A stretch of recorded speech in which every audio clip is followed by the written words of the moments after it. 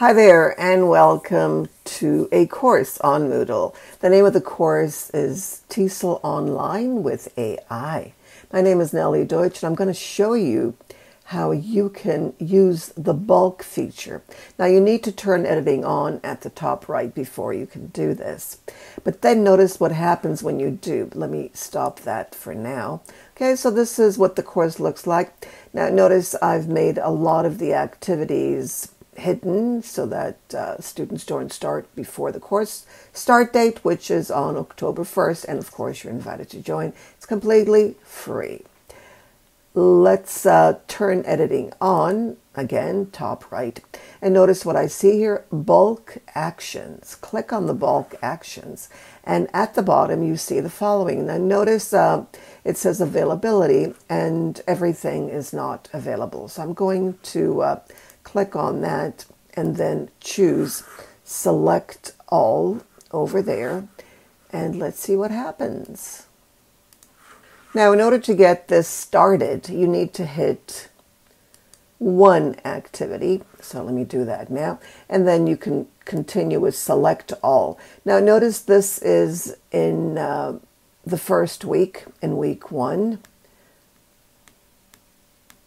and then notice 10 were selected and then I'm going to hit availability and notice show on course available to students hide on course. Okay so now make it available. All right and now they're all well they should be available. And there they are. Now they're all available next I'm going to again hit one because I want to turn them into hidden and then select all and then I can now make them unavailable or hidden. So now notice here, hide on course page, apply, and now they're all hidden.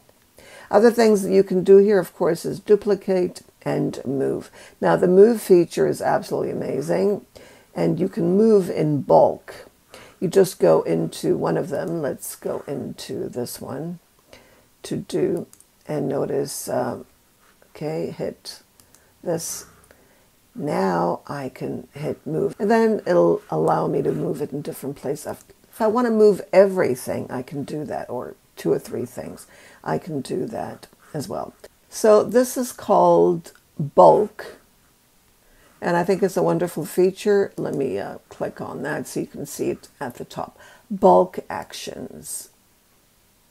All right, if you have any questions about bulk actions or any other plugin on Moodle, please let me know and I'll be happy to answer your questions in the comment box below. So have a great day and happy Moodling.